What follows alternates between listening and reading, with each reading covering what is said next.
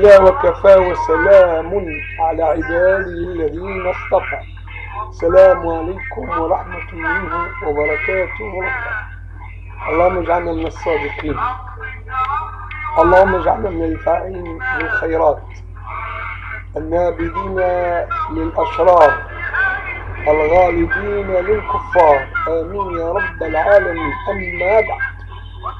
نتناول الآن ببركة الرحمن.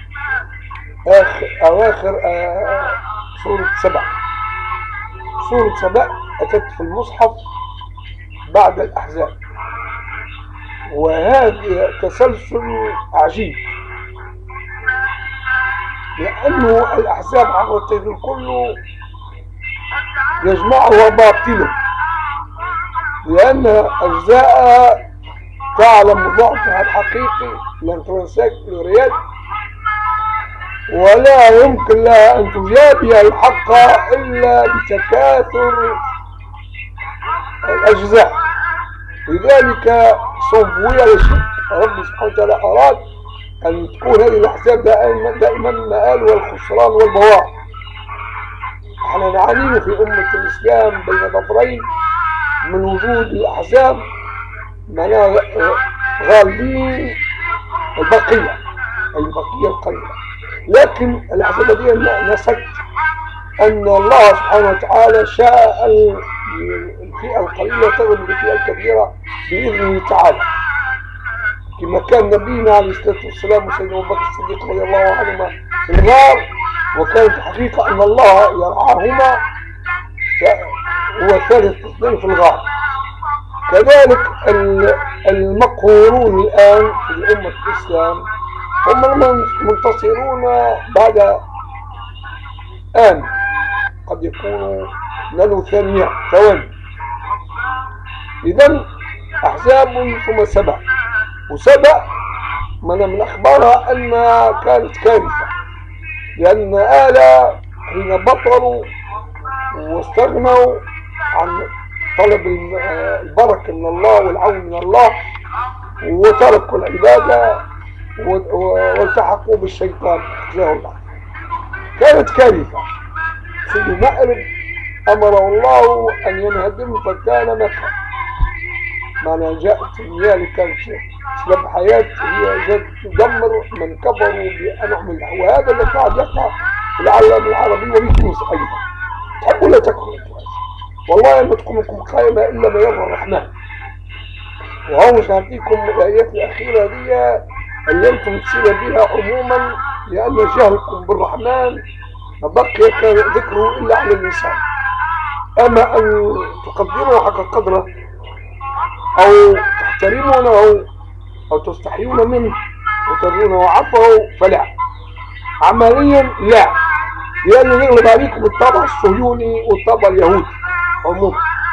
تدعون الإسلام. من أين لكم الإسلام وأنتم تشترون الناس بالأموال؟ وتقطعوا الأعناق بالتهم الباطلة. يعني توصلوا تحاربوا من خالفكم بطرهات بأشياء مختلقة من أفكاركم السيئة المريضة. إذا لا فائدة التطوير لأنه الإخلال المال بالحرام. خاصة من عدو الإسلام ومتعبوا اليوم يهبون خيرات من الحضارية والفكرية والثقافية وما فوق الأرض وما في أعماق المياه وما تحت وجه الأرض. كل من نهبه هو الاستعمار وهؤلاء الذين يدعون الإسلام هم أكبر عملاء. الاستعمار وهم صغيرون إن لم يتوبوا إلى الرحمن. إذا الآيات هي نتمنى على الله نحن أهل القرآن أن تجلب بعض من تعرم للإيمان وبعد جمعوا نحو الشيطان أن تؤثر فيهم حتى يعتقهم الله ويغفر لهم ذنوبهم. لا لأن الله سبحانه وتعالى لا يقبل الذنب إلا قبل سكرة الموت قبل من ظهور الشمس من من مغربها. واللي تطلع من مغربها من العلامات الكبرى الثلاث اللي نهاية الدنيا أوشكت بالتحقق؟ وقالوا ولو ترى نبدأ من آية 51 سورة سبع ولو ترى أي ربنا يخاطب ربنا سبحانه وتعالى خاطب نبينا عليه الصلاة والسلام يقول له ما رأيك لو يريك الله ما آلهم هؤلاء الدنيوي والأخروي ولو ترى فزعوا أي حين يصوصي بر لقنيك يعني بارور ترى. يعني ما رأي ما ماذا ستشهد عليهم. ماذا سترى من حالهم الحقيقية التي هي فعلا مضبوطة عند الله جزاء كفرهم بعم الله. وجزاء نفاقهم وعدوانهم على أهل الله. يقول لو ترى إذ فزعوا أي دفعهم الخوف. هي فقدان يتبقى من عقولهم ومن وعيهم ومن انضباطهم يعني يفرقهم ربي. في اللحظة ذيك بالرعب الظاهر معهم ولكن هم مفرقين كل واحد يلوج خلاص. لا خلاص. والله no escape لا فرار من عقاب. الله واللي قاعد يقع في تونس هو يؤهل الناس هذوما اللي يجحدون بالباطل ويفسدون بقلب كل الفساد. منا يأهلهم لعاقبة هذه العاقبة من مثل هذه العواقب ولو ترى إذ فزعوا فلا فوت. يعني لا مفر لكم من عذاب الله لأنكم أنتم أبيتم إلا الكفر والنفاق. تحبون تكفروا لا نجح لكم. وكيف تنجحون وأنتم أعداء الرحمن؟ والله لو يجيبوكم أموال الدنيا كل بالله العظيم لما يخليكم ربي سبحانه وتعالى تندمون على إنفاقكم فسينفقون ثم تكون عليهم حسرة أنفقتم المال حرام وما أتاه من الداخل ومن الخارج. والعاقلة في هذه الأمة والعاقلات يعلمون تفاهة عقولكم حين حين طلبتم أو رضيتم بأخذ هذا المال واشتريتم بها مع المغفلين. المغفلين كفر يعني ليه ضر تونس هو الغفلة اللي ضر تونس هو ادعاء الإسلام وهم أعداؤه اللي ضر تونس هو أن يسيطر أهل المال على أهل العلم بالدين بعلم بالله سبحانه وتعالى. ولو ترى إذ فزعوا فلا فوت وأخذوا من مكان قريب. أخذوا من مكان قريب يعني يجيهم البلايا سرعة بأمر من الله. أخذوا يصوصيزم نشوف ربك يومهم فلما أسفونا أي لما أغضبونا انتقمنا خذهم أخذ أخذ رابي أخذ تجمعهم جميعا. ولا بقي ولا بقي لهم ولا ولا كما تقول لا عقاب لهم لا أثر لهم. هذا اللي ما قادرين عليه لم تتوبوا. وأنا نقول لكم بصراحة أسرعوا بالتوبة. ما زال فيكم خير إن شاء الله ما جابوا ما سبتوا على لسانكم الإسلام فان شاء الله ان شاء الله ينتقل العامل اللساني إلى العامل الروحي وإلى العامل الفكري. والى ما عامل العقلي نحو استجابه نداء الله لا نداء تونس. وما هي تونس يا عرب وما هي تونس هي مجموعة من, التواريخ المكتوبة عرفت لكن الاستجابة الصحيحة المنجية هي الاستجابة للرحمن بالتوبة في العاجل لا الآجل ولو ترى إذ فزعوا فلا فوت وأخذوا من مكان قريب. والله ينطق فلا فوت. لا هروب من عذاب الله. وأخذوا من مكان قريب يعني والله سبحانه وتعالى هو قريب من كل شيء وبعيد عن كل شيء. لأنه لا يضيق عليه لا زمان ولا مكان الزمكنة لا تؤثر في من خلقها. ولو ترى إذ فزعوا فلا فوت وأخذوا من مكان قريب. شيء مهول مخيف. أخذوا خذوه كان وقت الجلسات الثانية.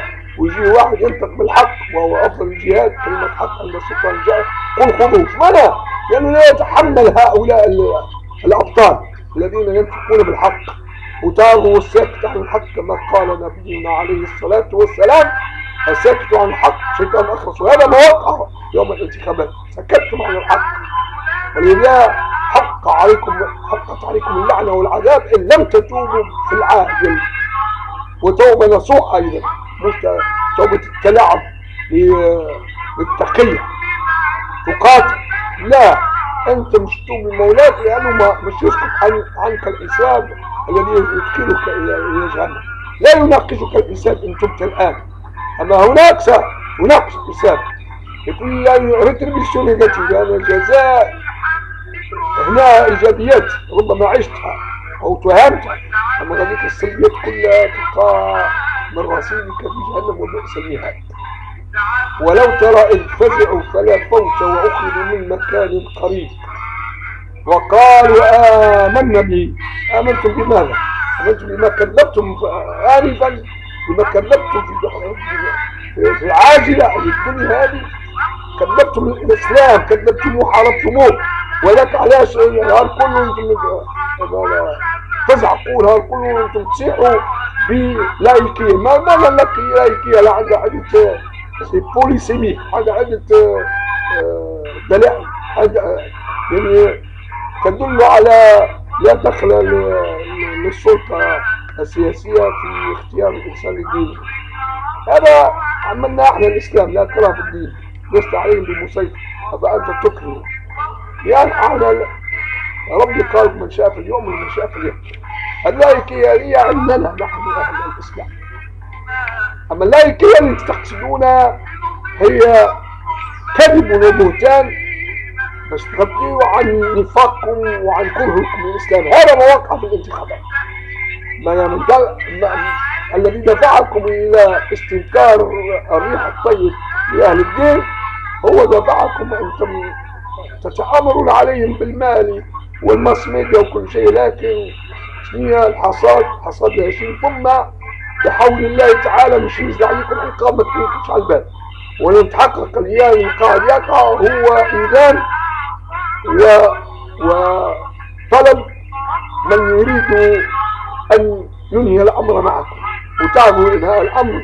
يكون إما باتباع الهدى ورب يحميك من الانتقام.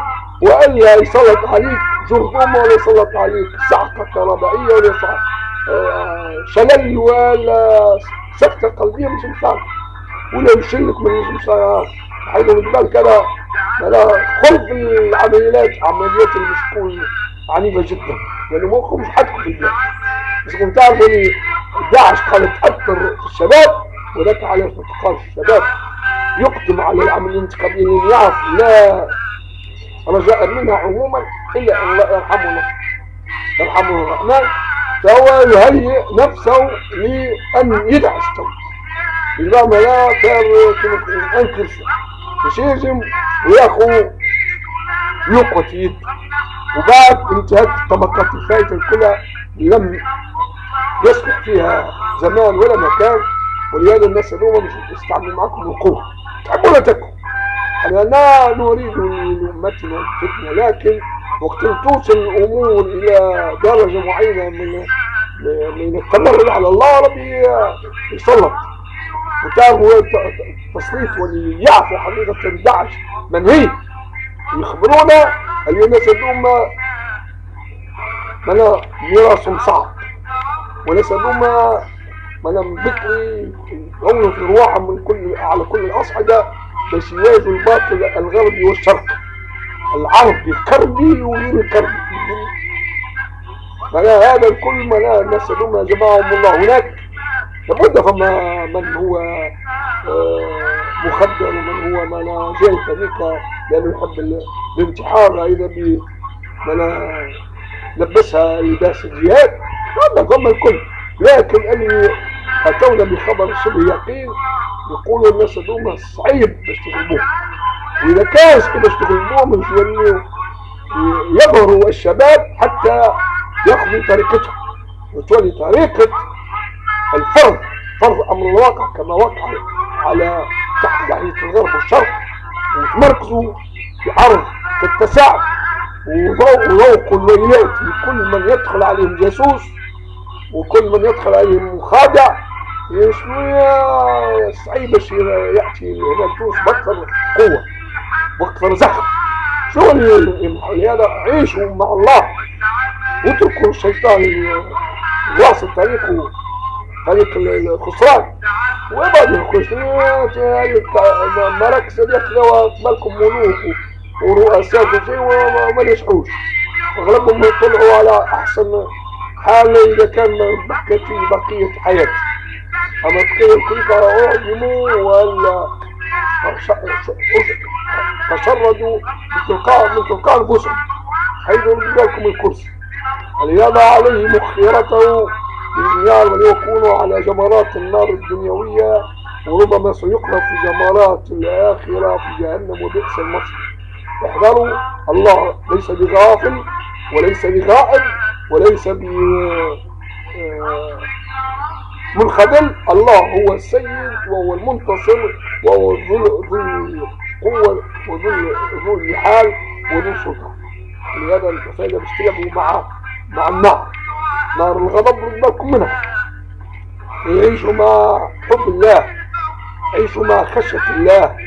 يعيشوا مع حسن الظن بالله عيشوا متكلمين لله. عيشوا معترفين بشذوذكم. ومعترفين بأمراضكم في قلوبكم مرض. حبوا تقولوا أنا كمعالج أعلم عنكم الكثير أنتم مصابون بداء الهدايا. وزاد الدنيا وزاد في الوجود السطاع ولو ترى إذ فزعوا فلا فوت وأخذوا من مكان قريب. وقالوا آمنا به وينه؟ وزاد رد ثم لكن هذا لك يوم جزاء. أما الآن أرض عمل وزمن عمل. وينكم أنتم العمل؟ لوجه الله قلنا. le caractère caritatif في الإسلام هو تعمل لله. يقول مش نعمله باش ناخذوا أجور إحنا هنا موجودين لنعبد الله. وما خلقت الجن والإنس إلا ليعبدون. ربي لا يريد منا طعام ولا شراب. ولا لحوم ولا قربان بل يريد لنا الغفران ويريد لنا صلاحنا من سلطان الشيطان هو ماذا يريد الله بنا ويريد الله, بنا اليسر لا العسر من اليسير أن تتوب إلى الله وثم ستغنم أن يقلب سيئاتك حسنات ماذا تنتظر إحنا عندنا الصحابة رضي الله عنهم يأكل في تمر بقي شطر آخر وفهم الجنة هي هي المر فيها. قال بالشق الثاني وقال الجنة الجنة. أين أنتم من هؤلاء؟ تسخرون منهم وفما منكم من الشيعة من يسبهم ويلعنهم. أين أنتم منهم؟ وإيران إذا كان لم تصلح على ما الرحمن. سيكون ومآلها التباب والخراب. هذا مناه وعد الله. لأنكم أفشيتوا الرعب في قلوب الناس شرقا وغربا وبدأتم تدفعون الآن في أرض الشام. البعض مما ستدفعونه إن لم تتوبوا إلى الرحمن.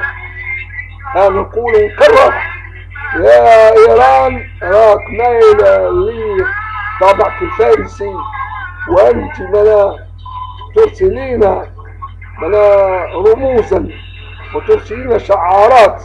ظاهرها إسلام وباطنها نيران والعياذ بالله. ولو ترى وأول من تحرك تحرككم أنت أنتم شوفوا مسؤوليكم في الشرق والغرب خاصة في السفارات وفي الم... وفي المناطق السر من أنتم رجال يدوكم النساء؟ كيف تخدمون ما لم ينزل له سلطان من الرحمن؟ هل قال الرب سبحانه وتعالى نقعد نجسوا على الناس حتى نفسدهم قال الرب سبحانه وتعالى أن نهدر الدماء من غير حق وغير وجه حق. الذي يقع في اليمن اليوم شنو؟ واللي يقع في الشام شنو؟ إذا احذروا فرحتم بالدنيا لكن فرح قصير هزيل ولكن باشا تندمون حيث لا ينفع البدن وقالوا آمنا به وأن لهم التناوش من مكان بعيد. كيف تعرفوا ما يريد الله بكم وأنتم بعيدين عن عن ما طلبه الله منكم ربما منا تتحكوا ولي أنتم مقر العزم للتوبة. التوبة جت المخ تناوش من مكان بعيد. يعني أنت تطلب المستحيل. أنت بعيد عنه لأنك بالدنيا أبعدت نفسك عن عن المطلوب منك. وقالوا آمنا به وأن لهم التناوش من مكان بعيد. أي بجهلكم. تعتبروا أنفسكم خير الأمم وأنتم خير من المسلمين الصادقين والصادقات. وقد كفروا به كفروا بالرسالة المحمدية على سيدنا قبل الصلاة والتسليم. وقد كفروا به من قبل ويقذفون بالغي من مكان بعيد. يعني رجعوا النصر. أيوة جاكم النصر في الظهر لكن ما تنساوش الله يكيد لكم. وأمني لهم كيد متين. إنهم يكيدون كيدا ويكيد كيدا لا يكيد كيدا وحيل بينهم وبين ما يشتهون هاو الرسم إذا مو سلطة لهذا السلطة الكلمة الذروة حطوا إليكم ما يتحقق لهم منها شيء شيء. بل كطبيب كلكم لديه صلاة فقال صلاة إكرتهم يعني نجيكم خيبة أمل ما تكون في أسمع رب سبحانه وتعالى يأتي بتخريب الأمم من حيث لا تحتسب. اللي ما كانش على بالكم. اللي أنتم زرعتوه من كذب على الأمة ومن طعن في استقامة أحرارها وحرائرها وحاربتم الإسلام الإسلام باللايكية شنو هذه بالكم بالكم لا تستقر لكم الأمور. والله لن يكون هذا أبدا. ومن من وعود الله أن لا تستقيم أمور من انحرف.